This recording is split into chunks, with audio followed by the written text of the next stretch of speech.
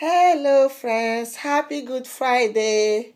I thank God for shedding His blood for us. I thank Him for breaking His body that we may be saved and reconciled with our Heavenly Father.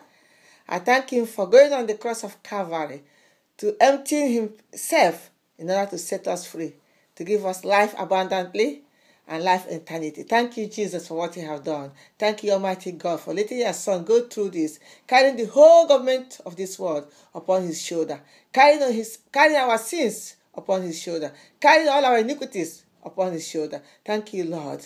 Thank you, Jesus, for what you have done for us. In Jesus' name, amen.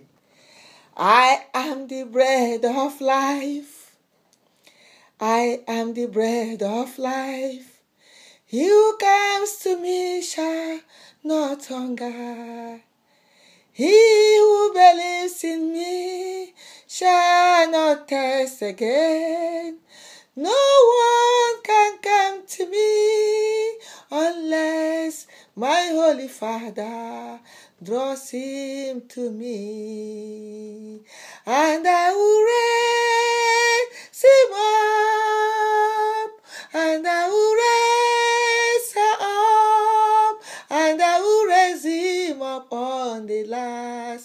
And I will raise him up on the last day.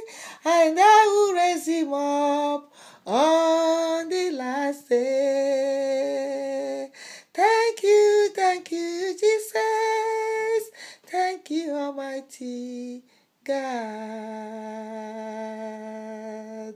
Hallelujah. Thank you, Jesus. Our God Almighty, the Son of living God, is the bread of life.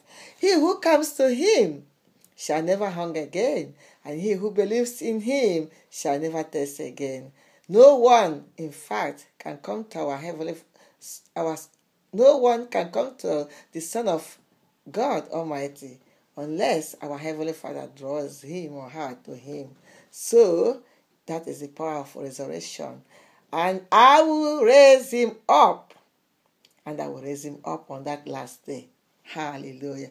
No matter where he had been on that last day, the Lord will raise him up.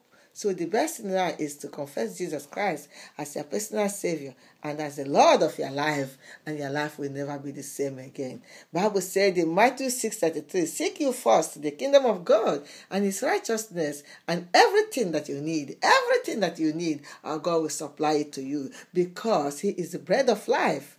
If you come to Him, you will never thirst again, you will never hunger again. So submit yourself today, surrender yourself today as we celebrate the death of our Lord Jesus Christ today. Good Friday, and surrender yourself to Him. Whatever that has taken place in your life, wherever you have been, God will sanctify you. He will wash you with that precious blood and make you whole again.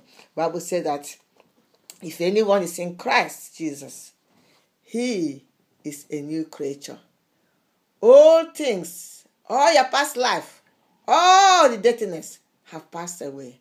Behold, everything has become new again because you are in Christ Jesus. So, my dear brothers and sisters, I invite you today to come into the presence of God Almighty and surrender yourself and receive Him as your personal Lord and the Lord of your life and the Savior of your life in the name of Jesus. May God be with you as you celebrate Easter. May God be with you. May this 2018 be a fruitful year, a year of success, a year of victory, a year of walking in God's righteousness in the mighty name of Jesus. God bless you and have a wonderful Good Friday. Stay tuned. I'll be right back to bless the name of the Lord and to bless you all in Jesus' name. Amen. Hallelujah. My name is Tess.